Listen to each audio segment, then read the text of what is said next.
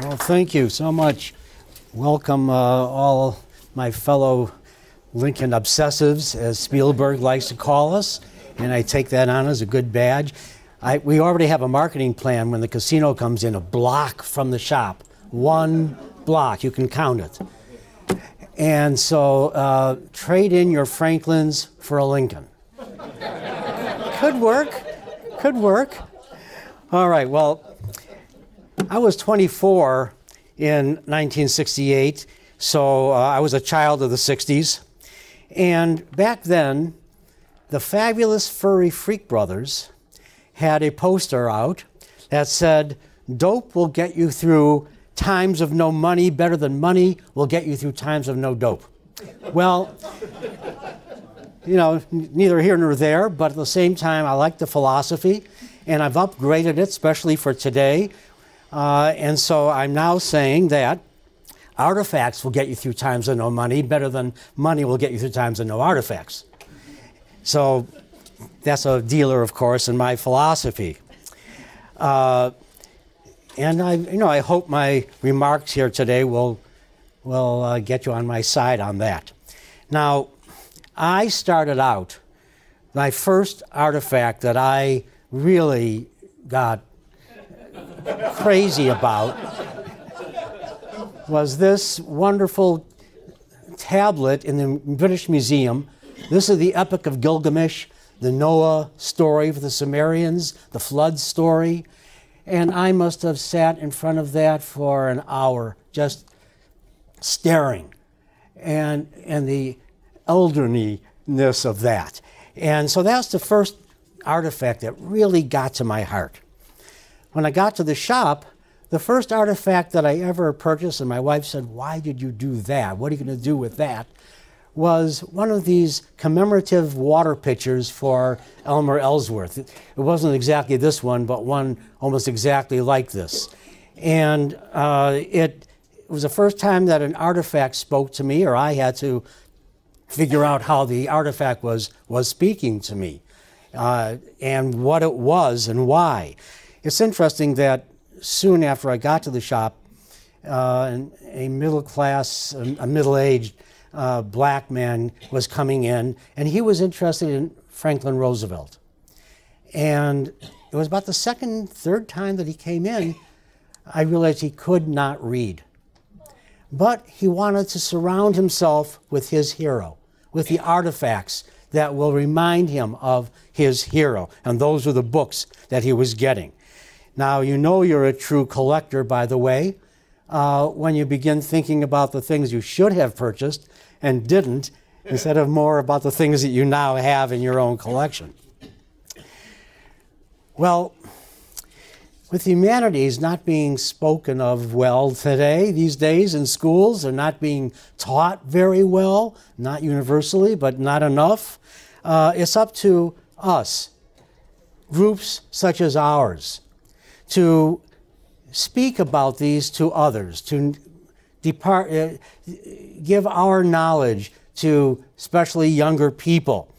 I know that it's helping that the newsrooms are becoming the new schoolrooms with all of these talking heads that are there, like Doris Kearns Goodwin, thankfully, and Jon Meacham and others.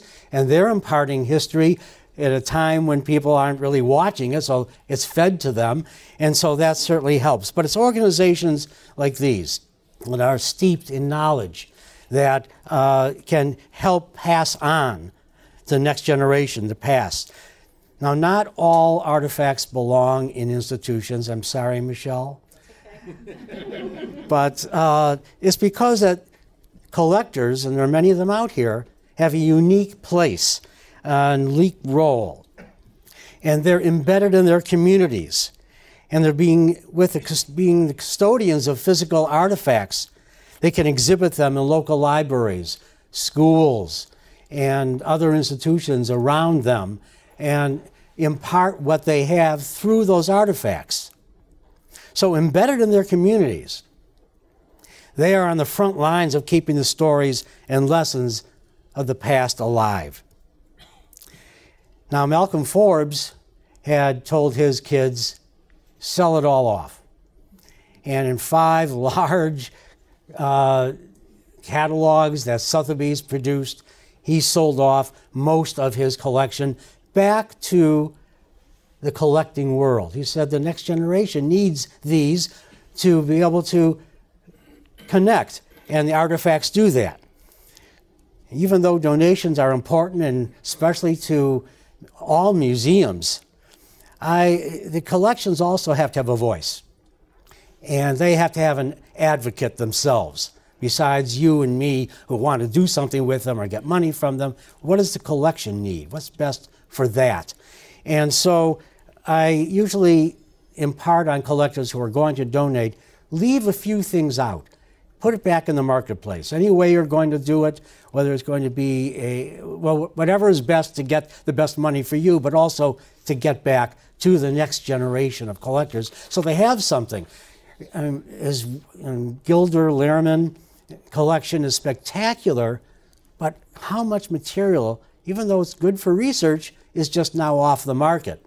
So that's something to think about. Now, artifacts are man made uh, for a particular purpose uh, and for human needs and desires. And they show what the past eras valued, being memory and meaning to life, and they're testimonials of the past and eyewitnesses to the past. But artifacts, I find, like, like to play games. They come into me and they ask me, why do I exist? And so, tag, I'm it, and I got to then decide, just like the rest of you when you get a collection that, or a, a piece, why does it exist? What does it mean? Why, do, why should I have it? Why should I tell others about it? Because collecting is an expression truly of intellectual curiosity. Now, artifact power, and that's what we're supposed to be talking about a bit today. And Ralph Newman, who began the shop, he used to say that I shook the hand of the man who shook the hand of the man who shook the hand of Abraham Lincoln. And that's a pretty direct chain. Yet an artifact is even more direct and more personal. That's mainly because many times, especially with, with manuscripts uh, and sometimes books, they were in the hand of the person that you're collecting. That, how, you can't get more direct than that. Some of you have been in the Smithsonian, perhaps, and had the real privilege of holding in your, one's hand the coffee cup that Elizabeth Keckley kept after Lincoln went off to Ford's. And she kept it, unfortunately, uh, washed it, I guess, all that DNA gone. But to, to hold just maybe the, one of the last objects that Lincoln held, uh, how direct can you get than that? Now, Lincoln was involved in, as all of you know, in many aspects of human activity. And their artifacts touch all of those disciplines and activities in which humans were involved. And Lincolniana offers one of the world's richest areas of collecting because of the many intersects of that that occur through the Lincoln story. I just noticed that I forgot to show you the next slide because this is something that Lincoln held in his hand. In fact, this is the only time he misspelled his name. the papers have told me that they've not seen another. It became Lincoln, and he crossed it out and did it again until he got it right. But he's, he was involved in politics, the law, logic, war, humor, sports, use of language, photography, technology, commerce, mourning culture, and more. And each of these have artifacts associated with them books, autographs, manuscripts, letters, jewelry, weaponry, prints, oil paintings, ephemera, photographs, medals, coins, and even just stuff. So there's so much in the Lincoln world that's out there. And for us to be able to enjoy and understand, and even if we can't read, have something on the shelf that reminds us of the man that we admire. Now, I've also found that I've always asked about provenance, and artifacts need provenance. And I found that many do not have it. There's no clean line of provenance. So that's why an artifact has to be studied, researched, and understand why it exists and why it's there. and why it might have gone to uh, the uh, next person. Now, here is one. Some have direct, direct connections to whoever had it. This is one of the three tables, three, that were in Appomattox Courthouse. Most of us know of two, but uh, one is in the Chicago Historical History Museum, and that came through General Ord. He bought that for 40 bucks. And then General Sheridan bought the mate to this table for 20 bucks, allegedly throwing 20 bucks onto the floor. Here, we're taking this. Gave it to Custer, who was seen by many having this table on his back as he rode off from Appomattox. And uh, Elizabeth, after the massacre, donated it to the Smithsonian. But Thomas Welles, Gideon Welles' son, was a captain on Ord's staff. And he got this table. And his grandson kept a fish tank on it. But uh, nonetheless, that had a direct line to where it came from in Appomattox and why we know it is correct. Now, some don't have any provenance. Now, I'm going to mention uh, someone who the previous uh, speaker did not mention, but Mr. Booth, the may have had this because that's what the oral history was from the family I, I got it from. Now I looked at it and I looked at all the photographs I could see and find of Booth, nothing. He was never wearing that. But then it's coral, and coral was large in the 1850s into the 60s a little bit when it fell out of favor. But Mary Lincoln kept on with uh, coral, loved coral. But it's a t- the time is correct. And I looked at it and say, this is a cravat pin. You keep your cravat together with this pin. Well, who's going to put this on their cravat? What, a lawyer or a or an educator or a pharmacist or a preacher? No. How about a thespian? How about a Shakespearean who would wear something like this kind of proudly? When I was in Gramercy Park once to the Players Club and went in there on the second floor, this was Edmund, uh, Edwin Booth's home, and they kept much of it as it was back then, especially his room. And on the second floor, there's a large case, glass case, of all the various bodkins he used for various roles, because the Shakespearean uses this knife for Richard II, but this other knife for Hamlet, and this other one for Othello. That's how important the knife is to a Shakespearean. So I can't put another zero onto it, which I'd like, but um, it's, it's, it, I think it was most likely Booth's, but I can't prove it. So that's how that goes. But then there, again, there are some that are just outright forgeries. Now, here is John Hay, two weeks after the assassination, and he's writing to a woman who wrote to him asking for something from Lincoln. And what did he, and this came out of an album of many uh, autographs that this woman had collected. This is the front page. On the left, Hay, and the right, this, this wonderful CDV, but I looked at that. Mm, I wasn't sure about that, so I went down to the papers and did some work down there, and we're all positive this is John Hay. It's in my forgery collection. I have over 74 Lincoln forgeries now that I've taken off the market, hopefully sometime to get into some museum, library, so it'll be off the market, can be researched. But that is uh, Hay, and it really pissed me off. That's two weeks after the assassination. He should be in deep mourning, and he's forging Lincoln's signature. Now, by the way, this is an interesting photograph as well, now that I'm on this. I don't know if you can really see right here but I will show you what is right there. Right there. And on the carte de visite, over and over and over, I see this little white spot. Over years, what in God's name was that? And finally, I was able to get a hold of the glass plate, which is the Brown University, and blow it up. And it turns out to be a fly and there are his wings, and that's his body right there.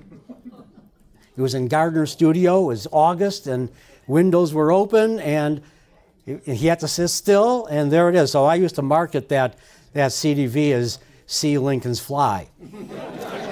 it worked, it worked. So now Hay also, I should mention, the endorsements that he produced, and he produced numbers of them secretarially for Lincoln, especially from December of 64 to Lincoln's death. And he, I call them secretarials, and that's what they are. They're not really forgeries, but he didn't indicate that. He didn't put parentheses with an SGD next to it saying that this is not Lincoln. And I see them come up at, at catalogs, and I see it, them at auctions, and they're hay. Uh, and, and also, um, the carte de visite came up, signed by Lincoln allegedly. Uh, two of them came up, one signed by him positively, and another one, this was at Heritage about six, seven years ago. And the one of the uh, one of them had on the back Hay authenticating the signature. Uh, I took a step back and said, and that went for $170,000. And the other one right after that went for 72,000, which is where the first one should have gone. But the first one I'm not sure actually was uh, Lincoln. Anything Hay gets close to, I worry about now. so, so Dennis Hanks and John Hay, be careful. Now, I've found personally that uh, it's advantageous to be in commerce and deal in artifacts, historical artifacts, because I look at them from a commercial or business point of view from when they were made in the first place. Business practices, the needs, the expectations. It's ad- advantageous to look at it through that and how perhaps something was produced and why. Now, this is a kind of simplistic one, but this is an oil painting I have in the shop now, and I've had this since the early 90s, and I just kind of love it, so I keep it. Uh, I have to find a home for it, though. I mean, it really does. It's been in, I've gotten to an age, you know, where's it going to go? Uh, and it's been in Illinois. This was produced by Charles Merck, who worked for Alexander Hessler. Now, Hessler was actually a, um, a portrait artist. That's what he really was. When photography came up, he started to use that new technology to take a photograph of a client, and then they could leave. And then they would use that to produce the oil painting of. So the Republicans, of course, needed, as you all know, in June of uh, 60, they needed a cleaned up Lincoln. So Hessler went down. Now, this was produced, and it's hard to see perhaps, but right here, it's signed by Merck. Uh, in Chicago, C. Merck, and then it says 7 July 1860. One month after the photograph was taken that this is based upon, uh, that uh, and and every every oil painting from life, they used a photograph as well. But from life means that the author, the artist, saw, viewed Lincoln up close, saw the eye color, the tone of the, of the skin. So, and I knew from a previous oil that I'd had from life out of Springfield that these were his eyes. And I knew that Merck had to have been down there and seen it. It had to have been from life. Just because Hessler went down there with three of his kids. He went down there with cameras and glass plates and chemicals. He needed someone, and they had already decided to put this up in Hessler's studio which where it went. Many Brady did this. You know, he had a huge wall of all the people that he had photographed, and uh, just to show next clients, hey, sit in this chair. Abraham Lincoln sat there. So uh, that's that's what they do. This went into actually the sanitary fair in Chicago, and uh, sold for sixty-four dollars and change, and then went to Lincoln Illinois, then went into, uh, I think it was Alton, where Jim Hickey saw it first. And then uh, thankfully, I had a chance to get it, and, and I did. But again, business practices showed me that this had to have been something that Merck went down there for, because there's no indication of that anywhere else. But he had to have been there. So being in the artifact, by the way, there are no notes. I was, when I first came into business, I was told, yeah, all these artists, they would go see Lincoln and they take notes on all the things that I said, skin color, etc. There's not one note that I've ever found. If anyone knows of any artist notes, I'd love to see them. I've never seen them. But of course, the artistic sensibilities, they remember those things. And being in the business of artifacts, historical artifacts, has placed me at the nexus of commerce, academia, librarians, museum curators, collectors, and it's a community that needs to stay tight and connected if we're going to help the next generations. Now, we usually take, I know I do, uh, take items away from families. And early on, I learned that uh, at 18 East Chestnut in 72 or 73 when a young man walked in with an, with an inscribed Kennedy photograph, John Kennedy, to Jake Arvey, the Democratic boss who helped make FDR president, helped make Kennedy president, and he was going to sell this to me. I said, "Oh my gosh, this is, this is your, you know, your grandfather who, who, with, with Kennedy, and you're going to sell this to me and get it out of the family. Well, I mean, I bought it. He was very, you know, so I have to keep my doors open. And but I, it really impressed me. But, but the problem is that I've never been able to return a piece to a family until fairly recently. And all of a sudden, this piece came to me. And this is an interesting guy, Peter Taltavul. Some of you may know that name.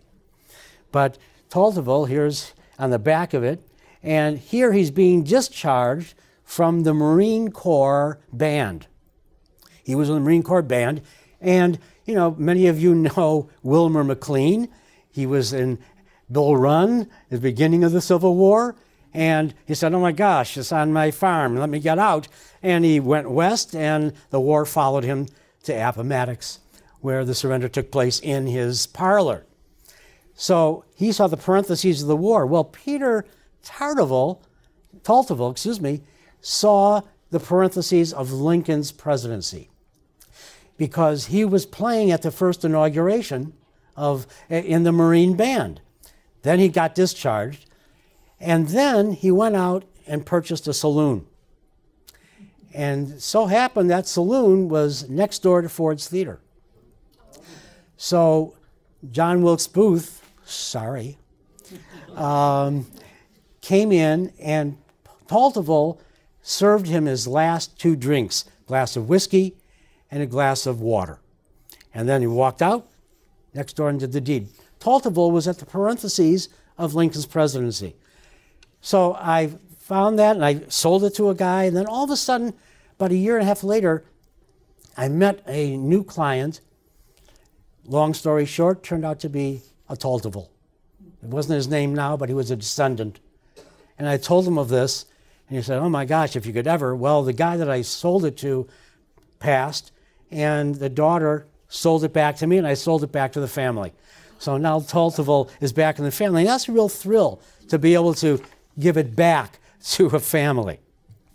Now, James Randall, as we all know, uh, had that famous pamphlet, Has the Lincoln Theme Been Exhausted? and uh, the continuing abundancy, abundance, I should say, of, of books, etc., shows that no, it's not been exhausted. And but I began to wonder about artifacts. Have has the artifact field been exhausted? I saw the same things over and over. I didn't really see many new things, but all of a sudden, I, could, I should say, really in the next last 10, 12 years, I found many things that have come through that are totally new that maybe are not a sixth Gettysburg Address, but nonetheless have interesting value. And this, this wonderful oil painting by Frederick Augustus Wenderoth, a photographer in Philadelphia. And he went down to Washington and took a photograph of Lincoln to be able then to produce an oil painting, went back and produced the oil painting and put that up, like we talked about others putting these up in their, in their studios. But this is what, on the left, you'll see the CDV. That's what we all knew. But all of a sudden, this showed up, and I realized there's a missing photograph. And that is the missing photograph in oil. With his hands, just terrific to see those hands. And so there's, there's an oil painting that, ta- that talks to me about something missing we may never see now, but there it is, a new photograph that should be in the next Ostendorf book. Now, this next piece is one that I've been proselytizing for, especially to the papers of Abraham Lincoln. And so this is where the internal evidence shows me that I think this is actually Lincoln. All of this is certainly Lincoln. We all agree. And a woman came in and said she needed a Catholic chaplain uh, in a hospital, needed more, uh, more Catholic chaplains. And Lincoln wrote this out, gave it to her, go to the, and get it done. And he didn't really need to sign this. He didn't always sign these sorts of, of letters and notes. But I think that she wanted him to sign and stayed maybe for this reason as well the date September 22nd of 1862. That's the Emancipation Proclamation, preliminary. He signed it that day. Now, I did some science, scientific uh, testing of this in a lab here in Chicago, and this ink is different than this ink, but very close to it. There were four iron gall solutions in those days, and so it wasn't exact. It was a little bit like this, and it's and I, the ink is of the day. Now the thing is here, A. B. Lincoln. A. B. Lincoln. Why did he do that? I asked. I talked with the papers about it. We all agreed it wasn't Nicolay. He couldn't do that. John Hay was better than that. I've already shown you that. it's not a forger. They, they thought so, and I thought so too. How is a forger going to get that in ink right then like that too? So I think that he came out of the, the preliminary emancipation signing in the cabinet room. She was there, and she put this in front of him and said, I want you to sign this. And so at a different desk, different ink, he did that, but he was, you know, what have I just done? And he started out another Abraham and stopped and said, Oh, no, I don't need to do that. And then signed the rest of his name, a little strangely, too. By the way, interestingly, when I went into this even further, this O, you see how his, his hand stopped for a little, just a second, and a little bit more ink flowed onto the paper. So that is also what happened on the Emancipation Proclamation the exact same place that he again stopped a little bit, slowed down, and then continued on. So I'm, I believe that that's an, a Lincoln signature. Springfield is not saying yes to me yet, but I'm pushing for this to get into the canon of that. And so another piece that I've I had recently uh, was this that internal evidence was fascinating with it. This is a folk art that actually was collected by uh, Big Jim Thompson. This was his. And I got this from the First Lady uh, recently to sell for the estate. And it's really emancipation. You can't see it, but it is. It's emancipation here. And it's just beautifully wrought. And uh, it's hard to see some of this. I know the, the leaves, etc. Down here is a log cabin, some split rails, and then the White House with the greenhouse still there. And in front, there's a, a specific uh, fountain with a specific way the, the water came out. So I knew nothing about it. Thompson, an, uh, an artifact guy, kept no records. Zip. So I urge you to keep records. And I, so when was this done? The, he got it at an auction. The auction house is gone. All the records are gone, so I can't find them to say, where did you get this? So I, I tried to date it at least. So there was a Jefferson statue in front of the executive mansion, right where that, that fountain is. They changed it in 1871. Chicago Fire, by the way, as you know. Uh, so that's my beginning. Then I, the greenhouse was still there, which means that it, had, it could go all the way up to 1904 when Teddy Roosevelt made the, that the West Wing, took it down, made it the West Wing. So those, that's my parameters. But then, when I look up here at this eagle, and in his beak and claws is the snake of secession. And when the 80s came, as most of you know, that was reconciliation. No one is going to put secession, oh, the damn Confederate secessionists and the snake. So I think this is the 1870s at least. And who did this, don't know, but it's just a gorgeous piece, almost seven feet high and four feet wide. Well, that's how you look at internal evidence to try to figure something out about an artifact. Now, as I said, new discoveries. How am I doing on time here? Uh, just a few more minutes. A few more minutes. So I'm going to go through this kind of quickly. Just show some new, some of these new things that have come up. This land grant. Land grants were stopped. Uh, President stopped signing land grants in Jackson's and Andrew Jackson's second term. He got his his uh, adopted son, Jackson Jr., to start in the land office signing for him. Van Buren did the same. And you can see that the land grant has this by crossed out, secretary crossed out, and Stoddard for Lincoln was the one who would have signed for Lincoln right there, and then by, and he would put his name. Here's the land office uh, recorder. Lincoln did this himself. January 2nd, am I right there? Of 63?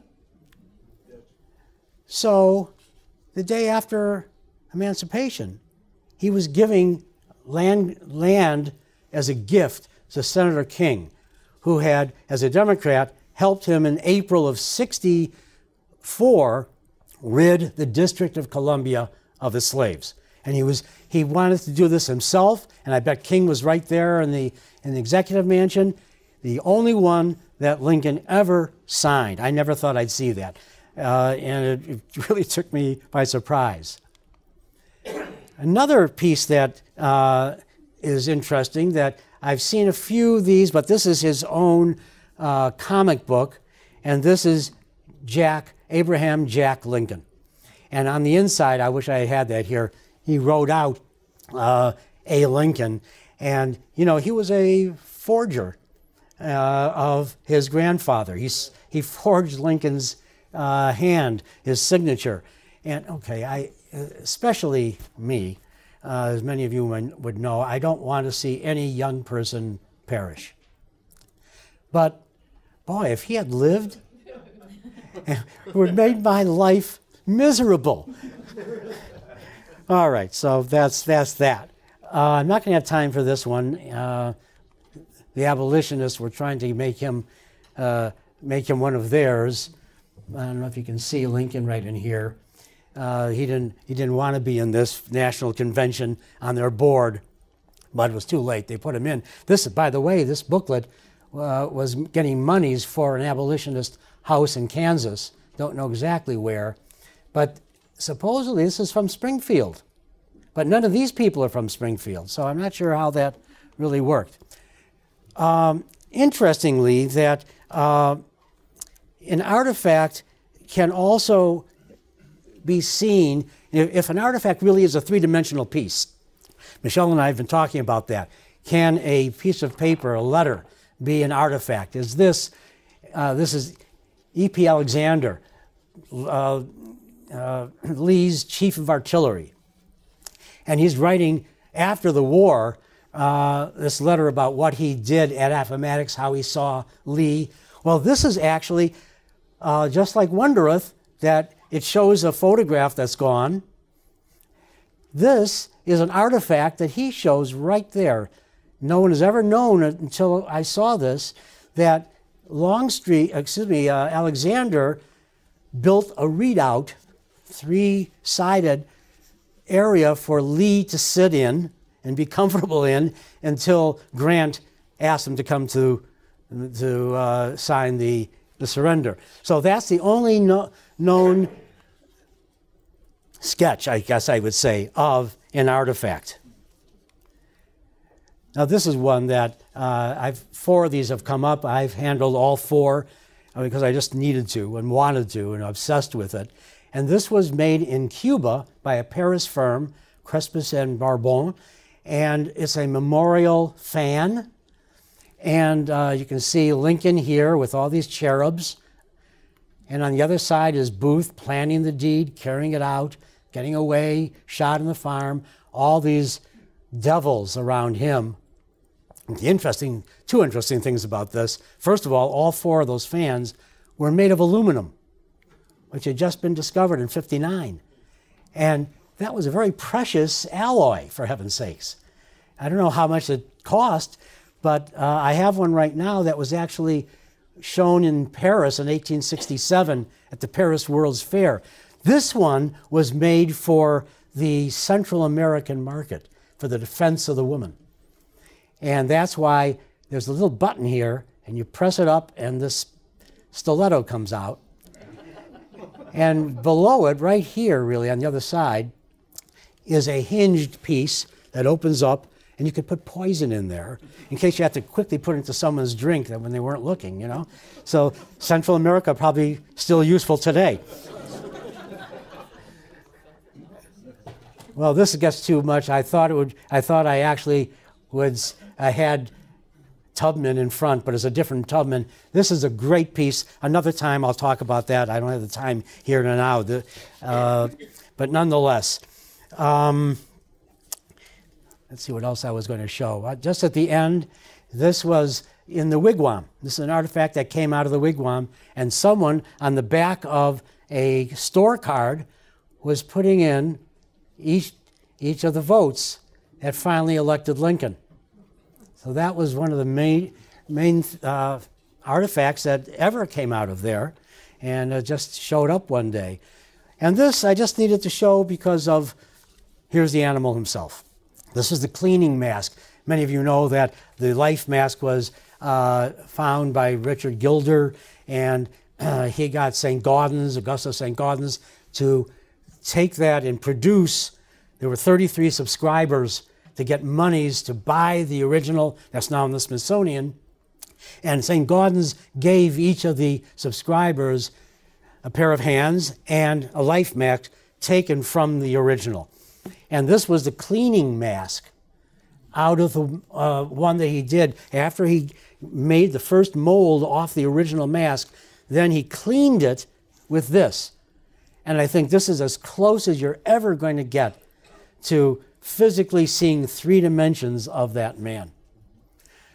So thank you very much for being here today and thinking about artifacts with all of us. Thank you.